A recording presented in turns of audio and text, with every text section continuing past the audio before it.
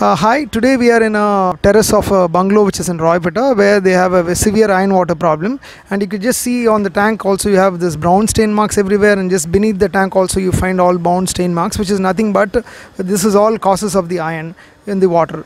And now we have given a solution here. It's a completely automatic solution where we have given removal of iron from the water and giving them a crystal clear water is our target.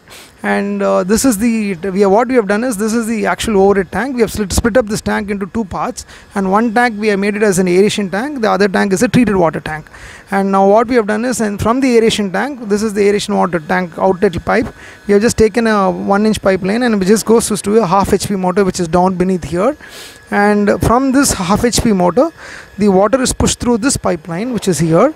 And it goes into the filtration system that is the iron removal filtration system which is a fully automatic iron removal plant which is an imported valve on the top which does the automatic backwash rinse of everything is automatic. And is it clear it cleans the water itself by the process of backwash and rinse and also sends the signals to this next vessel also. And it also does the same process like backwash and rinse and after which the water which comes out of the drain that is the backwash water is connected to the back of this uh, walls and from here it goes to the pipeline which is put on the corner of the uh, terrace here. That's because if you're going to it should not make stain marks in the terrace so it's laid till all till the end over there and then finally the water uh, drain motor is pushed into the drain here. Thank you